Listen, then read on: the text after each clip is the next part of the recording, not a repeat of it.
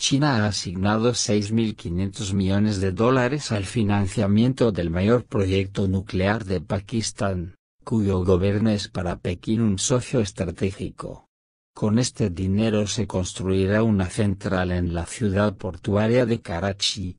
El primer ministro pakistaní, Nawaz Sharif, aprobó el mes pasado el proyecto, que tendrá un coste total de unos 9.600 millones de dólares.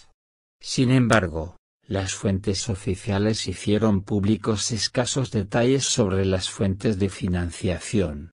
Unos documentos financieros obtenidos por la agencia Reuters muestran que China se comprometió a conceder a Pakistán un crédito por valor de al menos 6.500 millones de dólares para subvencionar el proyecto.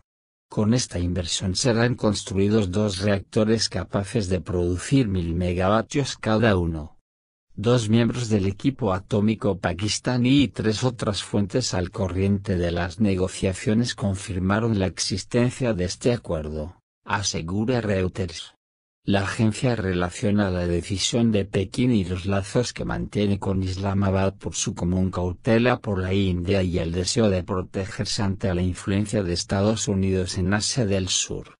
Pakistán y China son dos naciones con arsenal nuclear declarado y en desarrollo activo, aunque el pakistaní no es reconocido por el resto de las potencias nucleares y está fuera de control de los organismos internacionales, como el OIEA.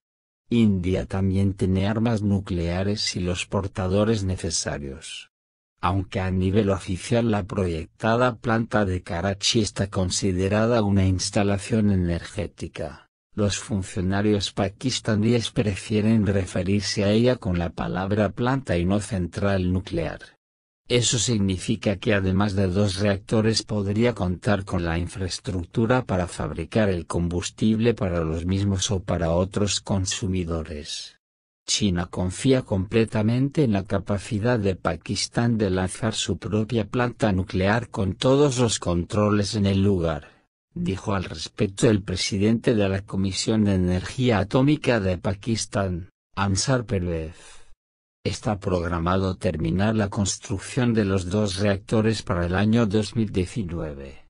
Su capacidad energética superará la potencia conjunta de todos los reactores operados en el país actualmente.